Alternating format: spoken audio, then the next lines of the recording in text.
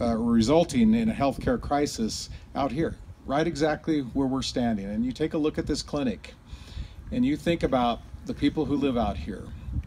And we've all, most of us have been parents or are parents. And if you have a sick child, if there's an emergency in your family, you have to have a place where you can take them. And then just two weeks ago was announced that Anthem would pull out of the Nevada exchange market altogether. That left two insurance carriers to offer plans through the Nevada Exchange, Health Plan of United and Silver Summit, Centene, but only in Clark, Washoe, and Nye counties.